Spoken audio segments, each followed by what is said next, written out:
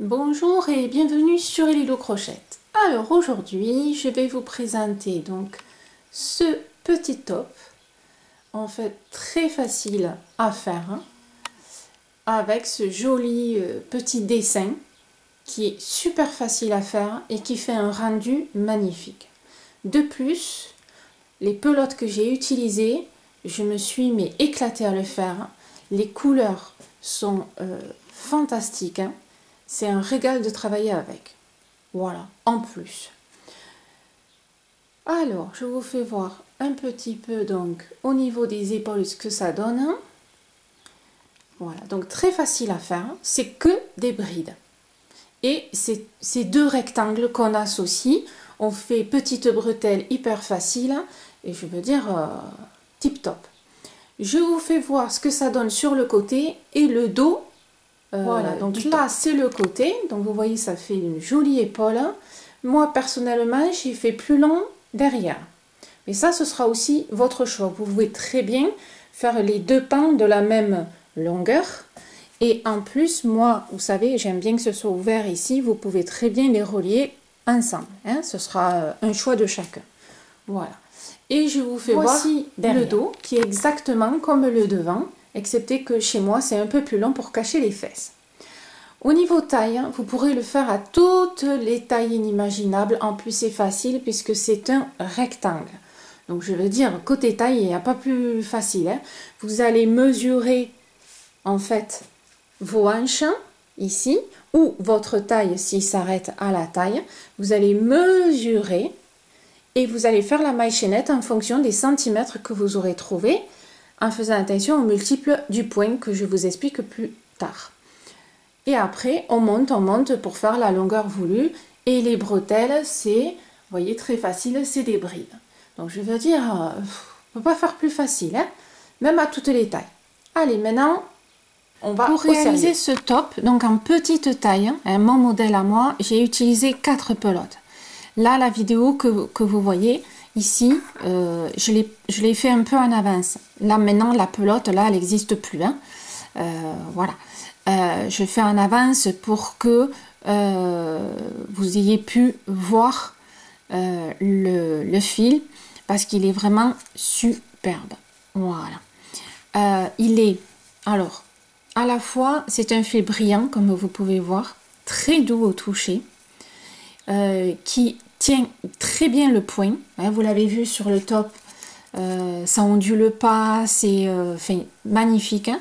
Des super couleurs, des jolis dégradés. Vous avez vu, euh, ça fait super joli.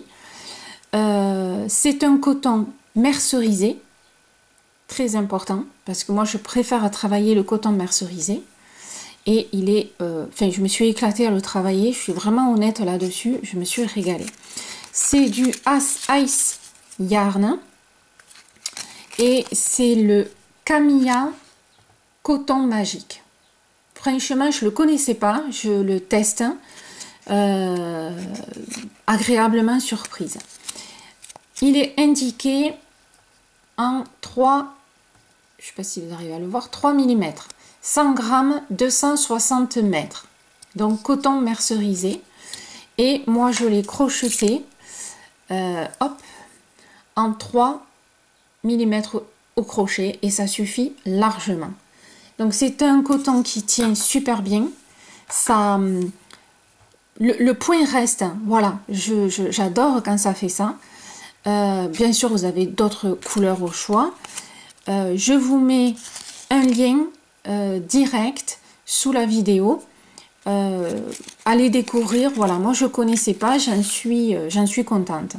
Voilà. Hein? Euh, hop, maintenant on y va.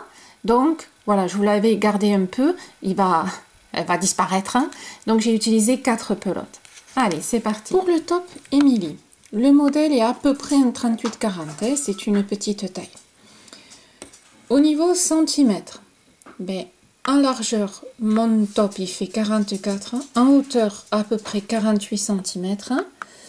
Et au niveau de la maille chaînette pour ce modèle-là, j'ai fait 117 mailles plus une maille à la fin.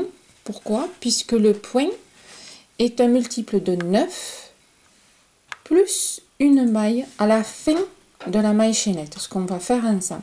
D'où 117 multiples de 9 plus une maille. Voilà. Ensuite, au niveau du point, il n'y aura pas forcément de point de répétition. C'est surtout, surtout la logique. Alors, je vous ai fait un petit schéma, mais on le reverra ensemble. C'est que vous allez avoir dans des espaces, hein, on va dire les carrés, et il faut que ces carrés voilà, se suivent et soient toujours décalés hein, pour faire le côté euh, biais. Et entre ces carrés, vous avez cette bride. Ça, c'est la base. On va dire que c'est, entre guillemets, vos rangs de répétition. Voilà. Donc, il faut toujours avoir cette logique hein, de dire, on suit le sens des carrés et entre, il y a cette bride.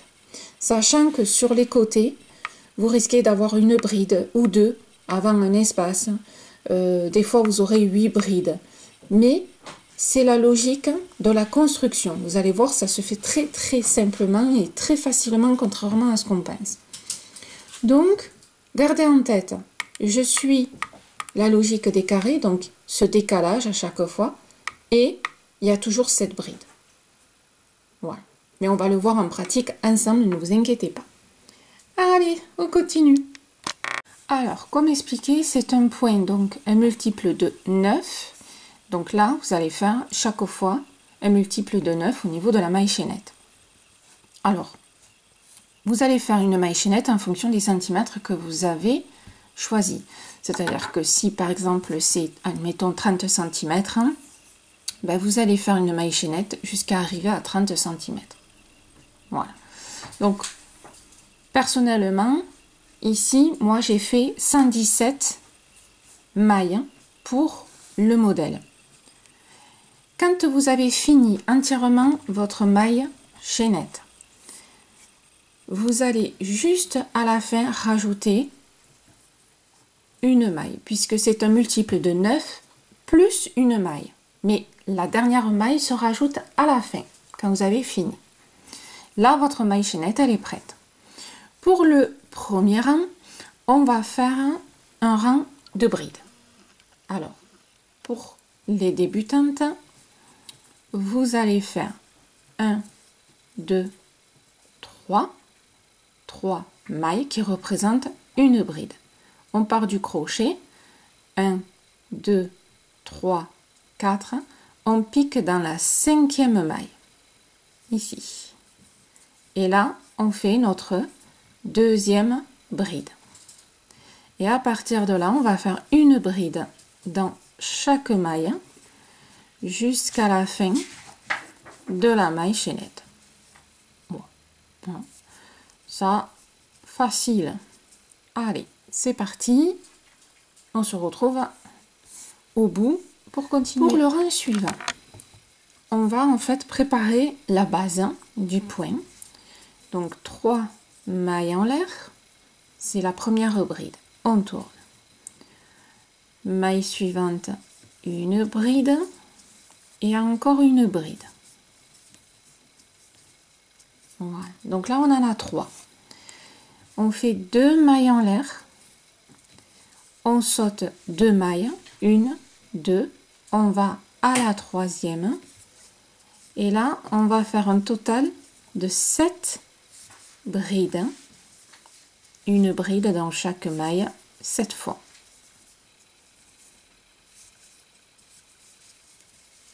Donc là, 4, 5, 6 et 7. Voilà.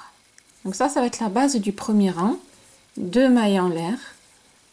On saute deux mailles et on repart sur cette bride. On va faire ça tout le long.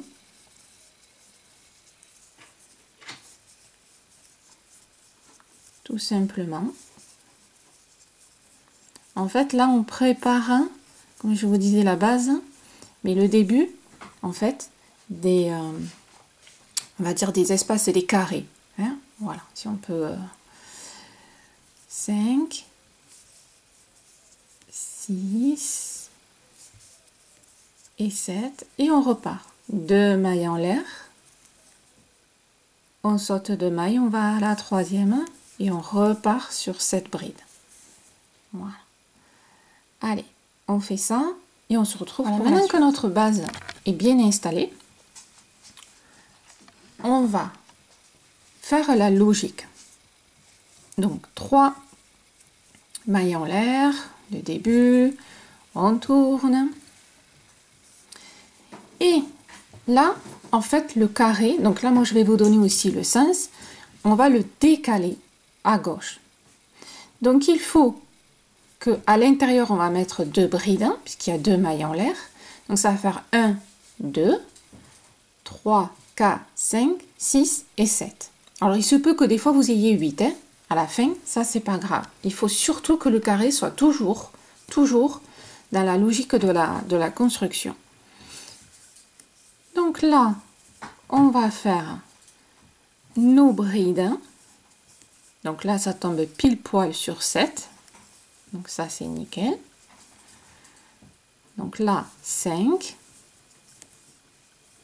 Et pour décaler le carré, on le remplit, on va le mettre à gauche. Donc dans l'espace, je mets mes deux brides. Et là, comme ce carré, je veux le décaler, je fais deux mailles en l'air, je saute deux mailles, je vais à la troisième. Et c'est comme ça qu'on décale notre carré notre espace, le trou.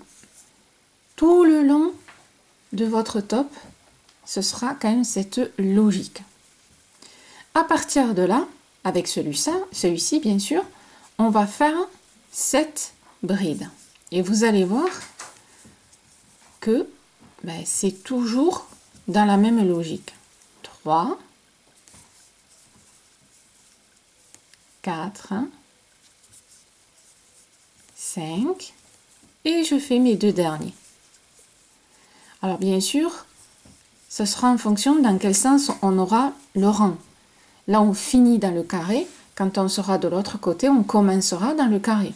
Mais ça, vous le verrez au fur et à mesure avec moi et puis vous, vous, aurez aussi l'automatisme. Donc là, j'en ai bien 7. Deux mailles en l'air. 1, 2, et je décale mon carré. Et là, à partir du moment où vous avez le sens, vous voyez, là ça part vers la gauche, mais là ça partira vers la droite, hein, ça bougera pas. C'est-à-dire que ce sens-là, quel que soit le rang que vous aurez, ce sera toujours cette logique. Voilà, c'est pour ça que la base, elle est importante de la faire ensemble. Allez, donc 3, 4, 5. Je finis avec mes deux dans l'espace, ça va me faire 7. 2 mailles en l'air. 1, 2. Et là, j'ai décalé mon espace. Voilà. Donc, vous allez faire ça tout le long de ce rang-là. On se retrouve à la fin pour voir comment on finit. Et on fait la suite pour savoir comment on continue. Alors, là, c'est un des exemples de comment on va finir. Le but, c'est quand même toujours de décaler le carré. On décale, donc je fais toujours mes deux mailles en l'air.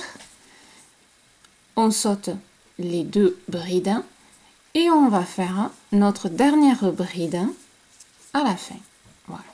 Et des fois, vous sauterez juste une bride, on fera qu'une maille en l'air.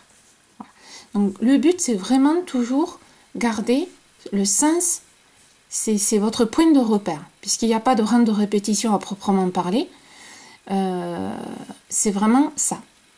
Allez, on continue. Donc là, toujours pareil. 1, 2, 3. Hop, on tourne. Donc le sens maintenant, ben, il a changé, il part vers la droite. Logique, hein du coup, pour décaler vers la droite, on va faire l'inverse. C'est-à-dire que lui, il faut qu'il soit à droite. Donc ces deux brides vont sauter. Donc on va en fait compter à partir de là. 1, 2, 3, 4, 5, 6 et 7. Allez. Donc, 2,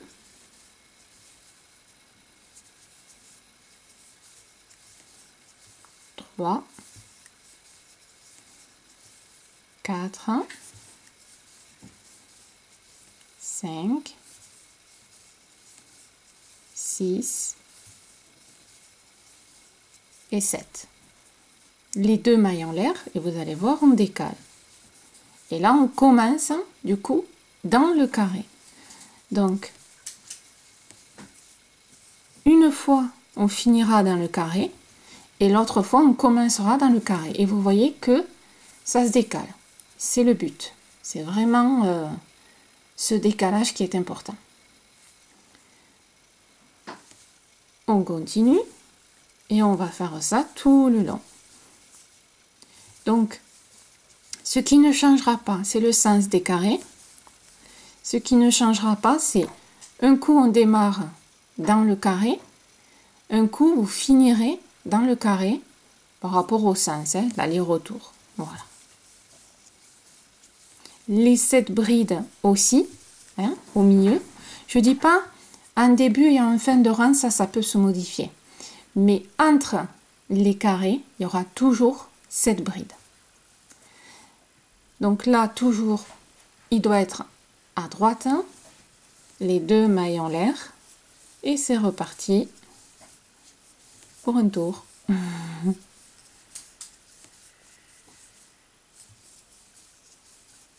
voilà. Hein? Donc, on fait la fin du rang. On se retrouve à la fin pour voir comment on finit. Ça, c'est le plus important. Alors, quand vous finissez le rang, donc on a toujours ce décalage, ça c'est bon. On a nos 7 brides, ça c'est bon. Mais vous voyez, il nous reste deux brides, deux mailles. Ben, dans ce cas-là, on va faire une maille en l'air et on va dans la dernière et on fait une bride. C'est-à-dire que ça, ce petit espace, ça va être le début d'une ligne de carré qui va se faire. Puisque dans ce, dans ce point-là, vous allez avoir, alors à peu près comme ici, vous voyez là, ça, ça va se finir. Lui va venir là, visuellement, et ce petit carré va grandir, va se décaler, va créer une nouvelle ligne.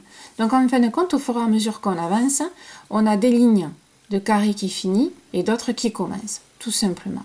Voilà. Alors, après, du coup, de l'autre côté, toujours pareil, trois mailles en l'air, on tourne. Là, qu'est-ce qui se passe? Déjà, je regarde ici. Mon carré doit être à gauche. Donc, je vais finir dans le carré. Donc, on fait 1, 2, on fait la marche arrière. 1, 2, 3, 4, 5, 6, 7. Donc là, je m'aperçois que ces deux-là, c'est celle-là que je vais sauter, puisque après mes 7 brides, j'ai un espace. Donc ici, dans l'espace là, je fais une bride puisque c'était qu'une maille en l'air. Je fais mes deux mailles en l'air, une, deux, et je vais dans ma troisième et je commence ma série des sept brides. Donc c'est pas compliqué, c'est juste une question de logique. Voyez Et il faut calculer comme moi je calcule, ou à moins que bon voilà, vous avez votre astuce pour savoir où vous en êtes.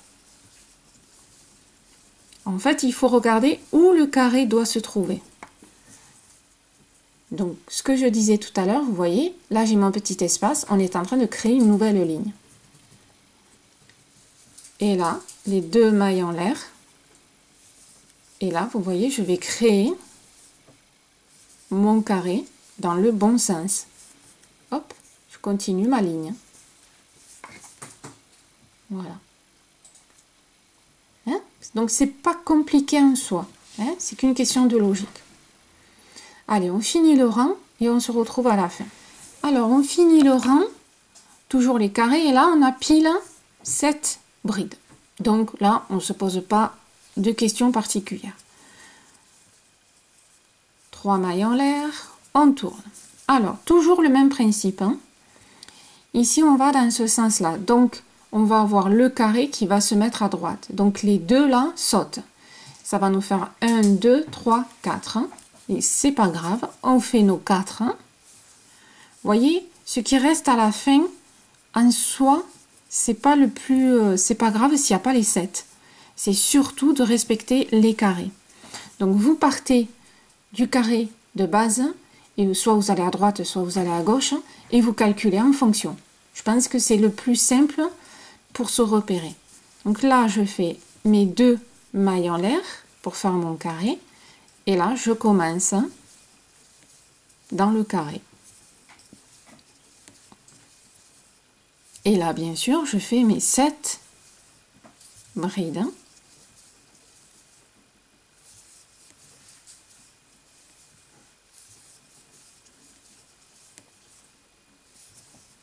Voilà.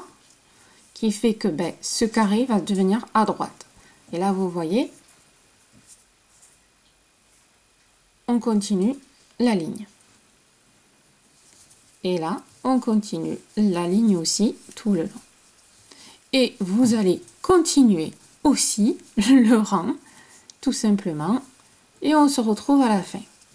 On va rester un petit bout de temps ensemble pour qu'on voit à peu près euh, tous les fins de rang que vous allez pouvoir euh, rencontrer. Voilà, comme ça. Parce que bien sûr, ce qu'on fait ici, ça va se répéter tout le long de votre top. Hein euh, c'est pas des rangs de répétition en soi, mais vous allez le revoir. Donc vous le connaîtrez, vous serez moins surprise. Donc là, on, finit le rang. Donc là, je viens de faire mon décalage de carré, mes 7 brides. Et là, nous avons un carré qui doit être aussi décalé. Donc ça, on respecte toujours la logique. Il se décale, je saute ces deux mailles, j'ai fait mes deux mailles en l'air, je rentre à l'intérieur, je fais mes deux brides et je vais faire les brides qui restent, hein, tout simplement. Voilà. Le but, c'est toujours de ce point, ce décalage au niveau des espaces. Et on voit, oh, vous voyez ici, on avait fait un tout petit et on a commencé nouvelle ligne. Voilà. Ensuite, on voit ce que ça donne. Les trois brides. Hop. Je prends du fil, ça sert toujours. Donc là, alors, là, ça doit se décaler à gauche. Donc je vais, en fait, sauter ces deux là. Donc je vais finir dans le carré. Donc je fais 1, 2, 3, 4, 5, 6. Il y en a 6, c'est pas grave. L'essentiel, c'est de décaler toujours, et je me répète, le carré. Donc on va dire qu'en début et en fin, on subit un petit peu ben, ce qu'on a. Hein Hop. Mes deux mailles en l'air. 1, 2. et toujours pareil. Donc dans ce rang-là, on finit dans le carré.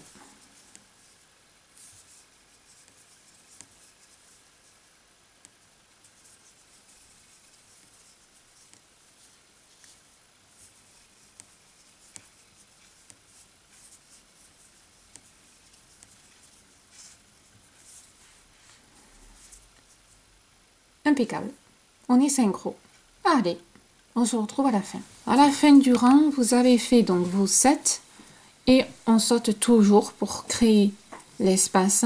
Donc 1, 2 et là vous aurez juste deux brides à la fin. Et comme je vous dis depuis le début, l'essentiel c'est de créer donc la ligne. Voilà. 3 mailles en l'air. On tourne. Donc là, on doit le décaler. Là, le décalé, c'est fini puisqu'on n'a pas assez la place. Sachant que lui va venir à droite, on part de là. 1, 2, 3, 4, 5, 6, 7. D'accord? C'est-à-dire que quand on a rempli l'espace, on a fait nos 7 brides. Donc là, tout simplement, on va faire une maille en l'air, on saute cette maille-là et on commence nos 7 brides. On peut avoir 8, mais pas 9 brides. Hein. Voilà. Donc là, on saute tout simplement une maille et ça va créer l'espace de toute façon pour le prochain rang. Donc c'est pas gênant.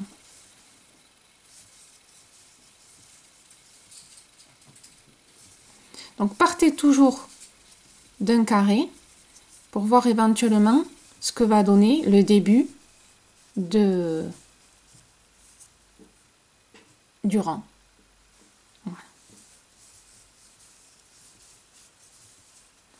Donc là, on a vu quand même pas mal de cas de figure. 1, 2, 3, 4, 5, 6, 7. On va le faire encore un peu ensemble. Vous voyez, on continue. Même si là, c'est qu'une qu'une maille en l'air, ça fait quand même un petit peu la continuité.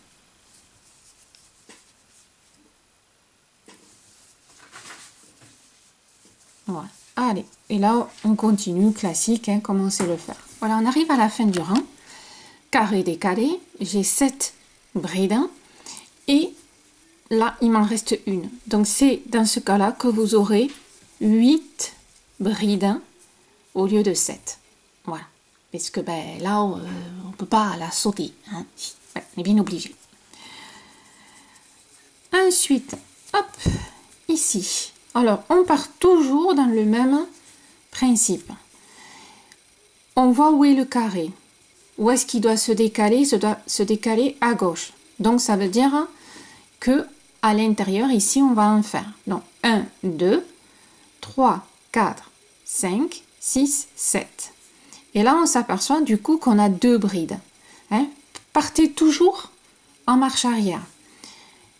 Le carré va être ici. C'est là que je vais faire les deux mailles en l'air. Donc je vais finir à l'intérieur. Ça va faire 1, 2, 3, 4, 5, 6, 7. Et ça, vous allez savoir quoi en faire. Du coup, ça, on va les sauter. 1, 2 mailles en l'air. On saute les deux mailles. Voilà, ça c'est le côté classique. Vous voyez, on fait euh, pas plus, on fait pas moins. Vous voyez ici. On va recréer bah, une nouvelle ligne euh, de carré. Et on est dans les clous par rapport au point.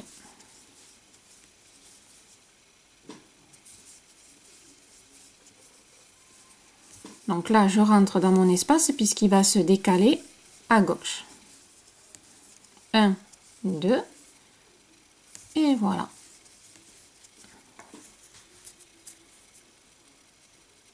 Allez, là, on continue. Vous connaissez maintenant la musique. Hop. Finir donc notre rang. Alors, pensez que là, on avait sauté une maille. Donc à l'intérieur de l'espace, on fait une bride et on refait une bride voilà, dans les trois mailles en l'air qu'on avait fait. On tourne. Hop. Et toujours le même système. Lui, il va se décaler là. Donc ça va faire 1, 2, 3, 4. Ok, ben on fait que 4 hein, brides. Je pense que là, on va pas tarder à voir tous les cas de figure. Hein. Donc là, je me décale. Hop. Il va se mettre là, notre petit espace. Et on commence la suite à l'intérieur. Voilà.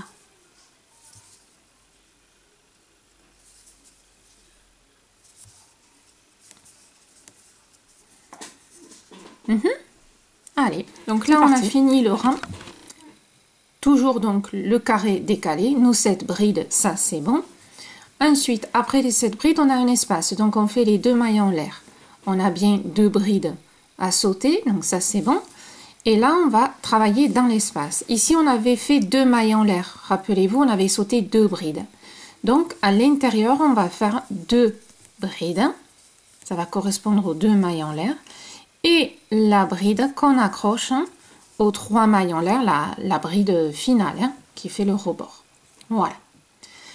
Donc là, on a fait ensemble 10 rangs. Euh, vous avez vu à peu près tous les cas de figure ensemble avec moi. Donc, euh, finir et commencer les rangs. Le milieu ben, reste le même. Hein. Donc, vous voyez que ça fait quand même super euh, joli. voilà, comme, comme point. Facile et qui donne un rendu quand même assez sympa. Donc là, maintenant, ben, vous allez faire vos deux euh, rectangles, entre guillemets, hein, puisque vous allez monter euh, jusqu'à la hauteur désirée. Vous avez fait votre largeur que vous aviez euh, besoin. Hein. Maintenant, on fait la hauteur. Donc la hauteur, ça fonctionne pareil, c'est un centimètre. Hein. Quand vous avez atteint ce que vous aimiez, ben, on va s'arrêter. Et vous faites bien sûr deux rectangles et après, on se retrouve pour la suite, mesdames. Voilà, maintenant vous avez vos deux pans. Alors, soit vous les faites à l'identique, hein, de même longueur, soit vous pouvez faire un pan plus long pour les fesses et plus court pour le devant. Hein, vous savez qu'on avait déjà fait un petit peu des tuniques comme ça avec moi. Donc ça, vous voyez, soit l'identique ou un peu plus long. Donc là, vous avez donc vos deux carrés qui sont faits. Maintenant, on va faire des euh, petites bretelles. Euh, puisque c'est un col qui est droit, ça va permettre d'avoir un joli col, un joli dos et au niveau bretelle pour pas que ça serre au niveau du cou. Hein. Donc bretelle facile, c'est que des brides hein, qui rejoignent les deux pans et on va le faire ensemble. Donc pour faire cette bretelle, alors j'en ai fait une pour que vous voyez ce que ça donne. Voilà. Et ça, cette partie-là, donc cette euh, longueur, hein, ça va dépendre un petit peu euh, de la taille euh, que vous avez choisie. Donc, vous partez de l'extrémité jusque là pour que le côté bretelle tombe bien sur les épaules. Et ça, on s'en occupera après. Hein. Donc, faisons comme si vous me partiez ben, du début. Donc c'est pour ça que j'ai gardé euh, cette partie à, droite. Donc vous allez compter le nombre de mailles que vous avez choisi. À titre indicatif, moi j'ai choisi 30 mailles et j'ai commencé à faire mes brides donc à la 30e maille. C'est-à-dire que là, ici, j'en ai 29. Voilà. Et à la 30e, je vais faire 7 brides. C'est ce que j'ai euh, choisi ici, vous voyez, cette bride. Vous pouvez faire plus fin, vous pouvez faire plus large. D'accord? Ça, c'est euh, pas gênant. Du coup, on va en profiter ici pour faire le rebord en maille serrée. Vous pouvez aussi faire un rebord différent, selon les goûts de chacun. Allez, donc c'est parti. Je prends du fil, ça sert toujours. Donc là, vous êtes comme moi, ici, vous avez fini euh, un pan. Alors, faites attention à, à bien mettre hein, euh, là où les nœuds à l'intérieur. Hein, côté euh, extérieur et côté intérieur, hein, au niveau des nœuds, si vous en avez eu. Enfin, vous devez au moins en avoir un. Alors, donc moi j'étais dans ce sens-là quand j'ai fini mon rang. voilà. Là, je fais une maille en l'air. Alors, je à ce que vous arriviez quand même à bien voir. Voilà. Alors, c'est vrai que dès qu'on a, hop, un peu plus de surface, voilà. Donc là, on va faire des mailles serrées jusqu'à arriver à la distance voulue. Donc moi, je vais faire 29 mailles serrées quand on a la maille, ben, on pique dans la maille. Hein. Voilà. Quand vous êtes dans l'espace, hein, ben, soit vous piquez dans la maille, hein, ici, soit vous rentrez dans l'espace et vous faites les mailles serrées. Ça, c'est un choix de chacun et vous voyez ce qui vous plaît le plus. Voilà.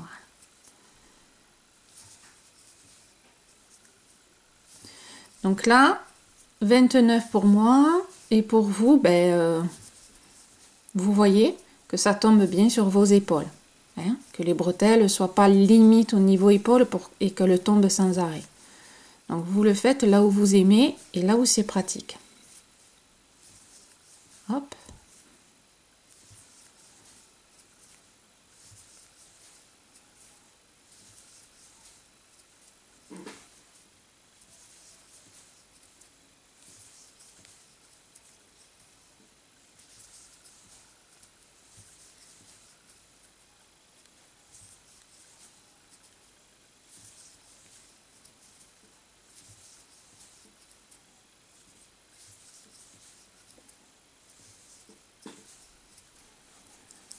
Voilà, donc là j'ai fait 29 mailles serrées. Et là j'arrive où je vais faire ma bretelle. Alors que vous soyez pile sur les 7 ou comme moi avec un espace, c'est pas gênant. Hein. Et là, donc, on va faire nos 7 brides pour commencer la bretelle. Allez. Donc, une 2, 3, 4, 5, 6 et 7. Voilà. Donc là, ah non, non, non, ou excusez-moi. Ouh, excusez-moi. Ouh là là, ouh là là. Excusez-moi. Là, quand vous avez fini votre maille serrée, je suis partie sur mon élan. Là, vous rentrez ici, donc dans la première maille qui va être votre première bride. Vous faites une maille coulée et vous commencez vos trois mailles en l'air. Veuillez m'excuser. Comme ça, ça écrase pas la bride. Hein. Donc, là, on repart sur nos, nos 7. Ascosimi. Voilà. Hop. Donc, euh, 4 1 5, 6 et 7. Voilà, beaucoup mieux, je me disais aussi. Donc là, on va tout simplement faire aller-retour. Hop, voyez, on tourne. Voilà, et on repart sur nos 7 brides. D'accord? Voilà. Alors, je vais vous épargner ça, hein, on va pas ça, ça va vous donner donc ceci. Voilà, c'est-à-dire aller-retour, aller-retour, aller-retour. Et vous allez faire le nombre de rangs que vous avez envie suivant la largeur de vos épaules et suivant la taille que vous avez choisie. Personnellement, à titre indicatif, hein, alors j'ai fait 12 brides. La 13e, là, la dernière, on va la faire ensemble puisque vous allez voir, il n'y a pas de couture. J'ai fait les brides accrochées directement à la maille. Il n'y a, pas de, a pas de couture, il n'y a rien. Hein. Voilà. Donc la dernière, la treizième, on la fera ensemble. Donc à titre indicatif, moi je l'ai fait donc 12 et celle-là 13. Et ça tombe très bien comme vous avez pu le voir. Mais attention, euh, suivant vos épaules, vous faites un peu plus long ou un peu plus petit. Donc, on se retrouve quand j'ai fait 12 brides pour moi, vous un peu plus ou un peu moins. Et on va faire le dernier rang ensemble, qui est un peu spécifique. vous avez fait vos 12 rangs ou un peu plus. Hein. De l'autre côté, donc l'autre pan, vous avez compté, alors pour moi, 29 et j'ai mis mon marqueur à la 30e maille. Donc vous, si vous avez par exemple choisi 35, ben vous recomptez 35 aussi, hein, logique. Puisque là, on va accrocher donc notre bretelle. Mais sans faire de couture. Donc, vous avez fini votre rang. Vous faites une maille en l'air. Hop. Donc, vous tournez Hein, et vous êtes donc face à votre pain. On est bien d'accord. Je vais aller doucement. C'est pas compliqué, mais euh, Voilà, on n'a pas forcément ce réflexe, ce réflexe-là. Ici, normalement, je fais mes trois euh, mailles en l'air. Donc là, j'ai fait ma première maille, 2 et 3, qui est ma première bride. On est bien d'accord. Je tire un peu. Je vais à mon pan ici. Je vais pas rentrer dans la maille dans ce sens-là, mais dans le sens extérieur. D'accord? Donc, j'enlève mon marqueur. On fait attention de ne pas perdre sa maille. Hop. Et là, je rentre dans la maille, mais côté extérieur. Vous avez vu, mon crochet vient vers moi. Je récupère ici ma boucle et je vais la faire passer de l'autre côté. Alors, je vais essayer de bien zoomer. Voilà. Donc, vous tenez bien votre fil. Hop. Et vous faites en sorte que le fil il passe de l'autre côté de la maille. Donc, vous voyez ici, j'ai ma bride, mais je suis, j'ai accroché de l'autre côté. Là, maintenant, je vais faire ma bride comme si de rien n'était. Donc, je fais mon jeté. Je rentre dans la maille suivante. Je fais comme si de rien n'était. Hein. Voilà. Hop. Là, j'ai fait ma bride. Je desserre. Je rentre dans la maille suivante de l'autre côté et toujours à l'envers. Hop. Je récupère ma boucle et je fais passer de l'autre côté. Voyez? Voilà. Et là, je fais pareil. Hop, je fais ma bride comme si de rien n'était. Voilà. Je desserre un peu. Je rentre dans ma maille de l'autre côté. Hop. Je récupère ma boucle. Voilà. Et je la fais passer dans la maille.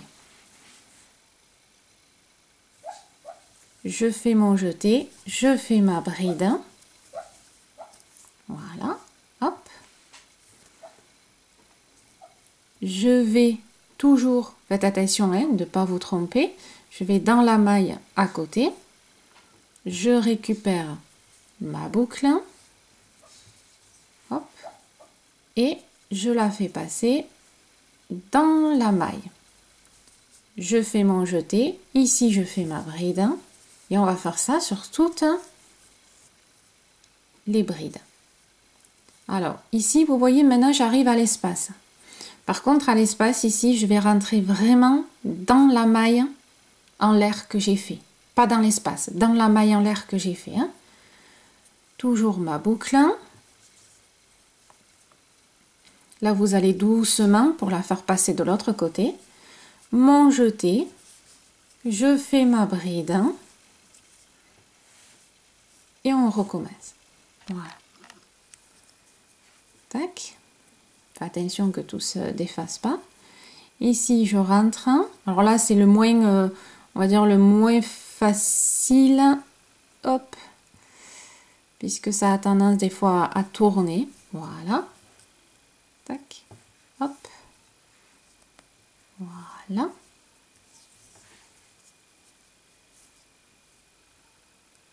Je la fais passer. Je fais ma dernière bride. Et on va faire encore le même principe puisque c'est toujours une bride. Là, je reprends. Je rentre dans la maille puisque je suis retournée dans une maille plutôt classique. Hop. Voilà. Voilà. Et là, vous allez tout simplement, ici,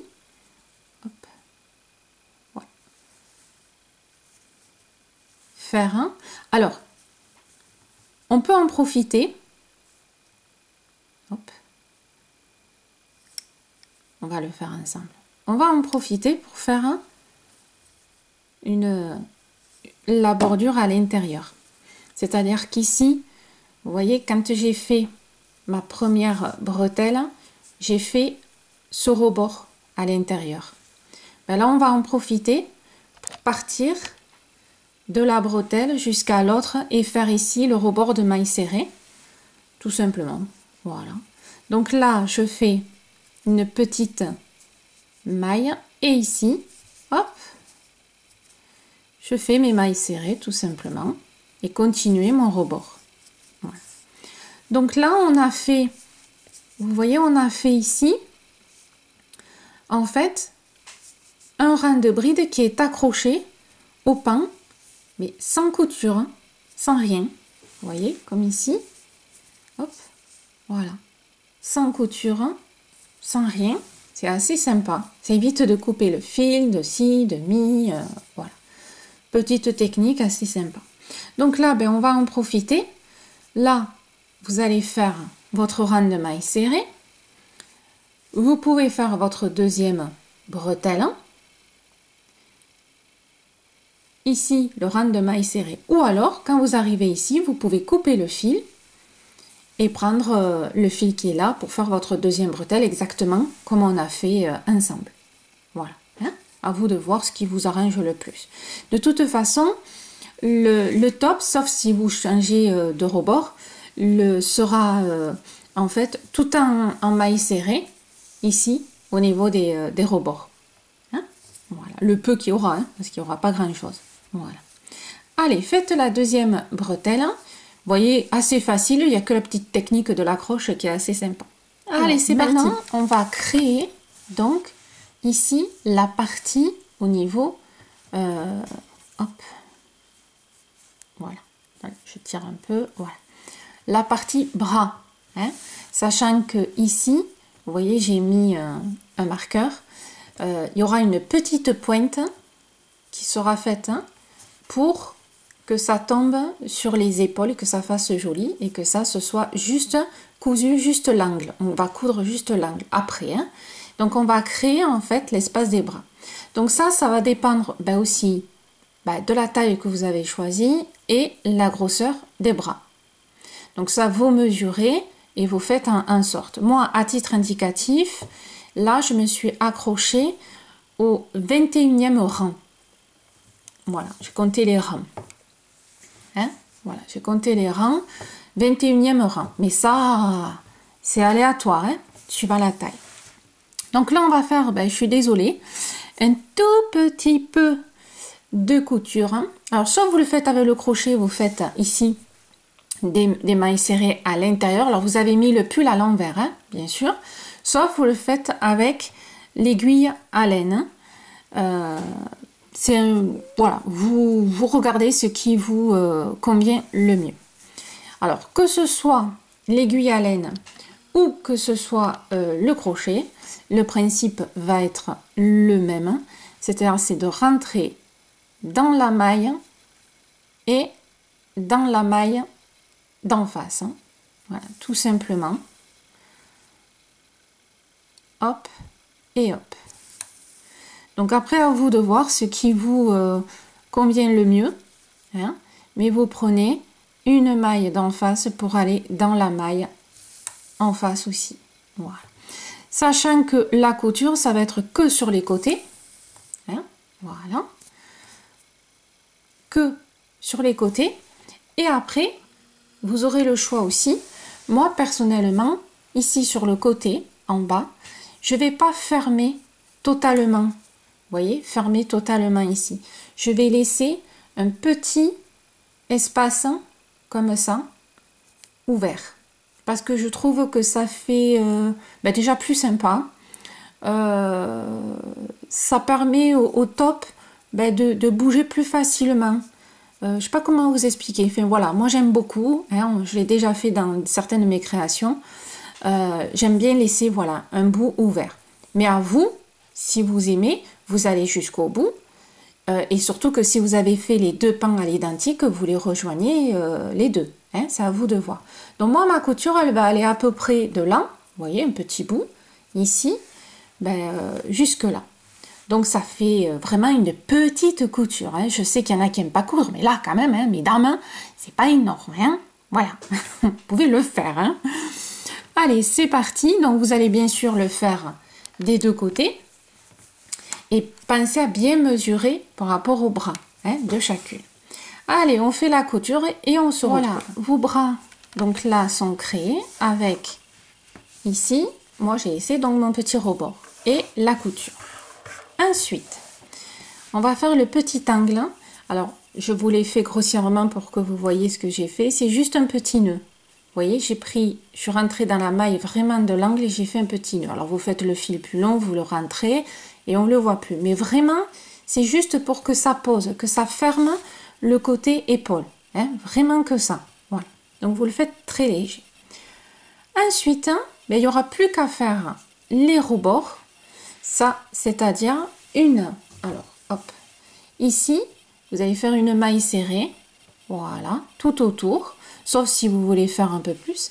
Et dans les espaces, là, vous allez faire deux mailles serrées à l'intérieur. Voilà. Et vous allez faire, alors, quand, si vous avez fait comme moi, vous avez les mailles serrées à l'intérieur, vous allez faire le rebord. Ben, quand il y a un rebord à faire, hein, tout simplement. Donc là, le rebord. Ici, les rebords. Si vous avez fait comme moi, mais vous allez faire là un rebord de maille serré. Là, soit vous le laissez comme ça, ou vous faites un rebord de maille serré tout le long pour revenir ici. Hein voilà. Donc là, vous n'avez pas besoin de moi pour faire des mailles serrées euh, sur les côtés. Il n'y a que donc là, voilà, ou ici. J'attends que, voilà, ça soit net. Là, vous faites une maille serrée, une maille serrée dans le petit espace. Et quand vous avez des grands espaces, vous en faites deux. Le but, c'est qu'il ne faut pas que votre top, il ondule, ça veut dire que vous en avez fait trop. S'il se courbe comme ça, vous n'avez pas fait assez de mailles serrées. Hein. Donc vous faites le rebord que vous avez envie, hein, tout simplement. Voilà, ici, en bas et au niveau euh, du col, là où vous n'en avez pas fait. Voilà. Allez, après, bien sûr, ben, euh, le rebord, vous me le faites côté euh, à l'endroit. Hein, J'ai oublié de vous le préciser. Donc, vous remettez à l'endroit et vous faites les rebords. Et c'est parti. mesdames, ben, euh, ça y est, votre top, il est prêt avec ou sans le côté un peu plus long. Un joli point, facile à faire. Hein, petite bretelle qui fait les épaules nues. Et voilà, et eh bien écoutez, j'espère que vous avez aimé cette vidéo. N'hésitez pas à liker et à partager. Je vous dis à très vite sur Elilou Crochette et je vous embrasse très fort. Prenez soin de vous.